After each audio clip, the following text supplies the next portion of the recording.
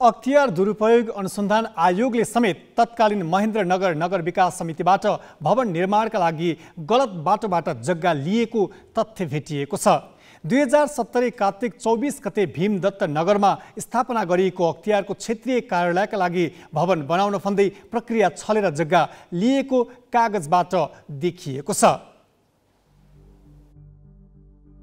तत्कालीन महेन्द्रनगर नगर विकास समितिको जग्गा घोटालामाथि छानबिन गरिरहेको संवैधानिक निकाय अख्तियारले नै दुई हजार एकहत्तर पुसमा एक बिघा जग्गा लिएको छ। नगर विकास ऐन दुई हजार पैँतालिसको दफा तेह्र क अनुसार नगर विकास समितिले आफ्नो चल अचल सम्पत्ति कुनै व्यक्ति वा संस्थालाई चन्दा अनुदान सहयोग ऋण दिँदा नेपाल सरकारको पूर्व स्वीकृति लिनुपर्ने उल्लेख छ।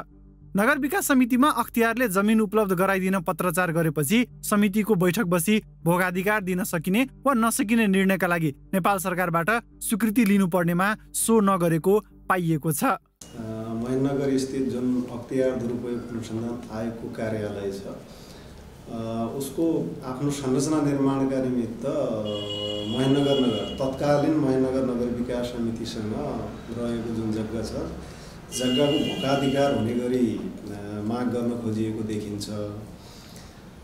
तथापि अब तत्कालीन महेन्द्रनगर नगर विकास समितिबाट निर्णय भएर यो प्रक्रियागत रूपमा अगाडि बढ्नुपर्ने चाहिँ हो कानुन त त्यही नै हुन्छ। नगर विकास ऐनले अब त्यही प्रावधान गरेको स्थिति देखिन्छ।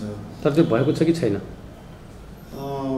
सम्भवतया अब त्यति बेला नगर विकास समिति क्रियाशील नभएको हुनाले ती प्रक्रियामा जान सकेन अख्तियारले यस्तो समयमा जग्गा लिएको छ जतिखेर नगर विकास समितिको जग्गा वितरणमा भएका अनियमितता सम्बन्धी परेका उजुरीको छानबिन त्यही अख्तियारले गरिरहेको छ।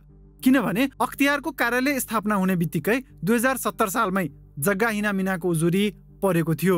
अहिलेसम्म छानबिन टुङ्गोमा नपुग्नुको कारण पनि यही हुन सक्ने स्थानीय सरोकारवालाको आशंका छ। अख्तियारको नाममा छानबिन भएको भइरहेछ भन्ने कुरा हामीले बुझेका छौँ।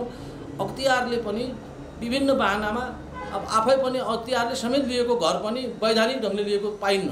अख्तियारका तत्कालीन प्रमुख आयुक्त लोकमान सिंह कार्कीले दुई हजार बहत्तर जेठ पन्ध्रमा कार्यालय भवनको शिलान्यास गरेका थिए भने दुई हजार पचहत्तर असोज उन्नाइसमा अर्का प्रमुख आयुक्त नवीन घिमिरेले उद्घाटन गरेका थिए।